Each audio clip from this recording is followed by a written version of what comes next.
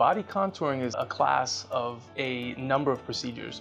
Some people have very small problems, maybe a little bit of extra fat on the belly or a little bit of extra skin underneath the arm, and they will be well treated with smaller procedures. As we age, when we lose weight, our skin won't tighten back to its normal shape. There may also be problems with pain in the neck and back. At times, hygiene issues arise from excess skin, including rashes, excessive sweating, which is difficult to deal with. Often, patients who've had weight loss surgery will begin losing weight very well based on their diet.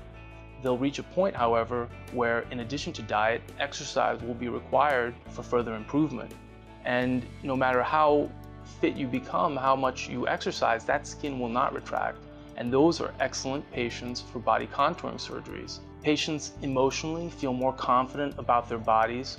They're able to wear clothing that they haven't worn in a while. They're able to participate in activities and with that functional improvement, their self-image continues to improve.